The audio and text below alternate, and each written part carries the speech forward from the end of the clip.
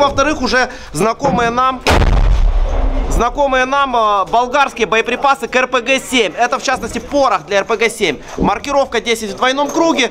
То есть по всему пути, как идут донецкие штурмовики по Маринке, мы продолжаем встречать импортное оружие. И чем глубже, тем больше. А здесь еще и наемников. Братишка, расскажи, что это вы нашли тут? Ну, Это натовские воги. Это не наши. Это натовские уже идут. Вот маркировка, да? Да, да, да. У нас не такие.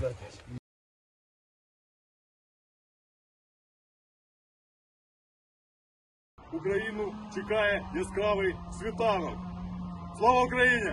Героям слава! Слава нації! Смерть ворогам! Україна! Понад усе! Україна! Понад усе! Україна! Понад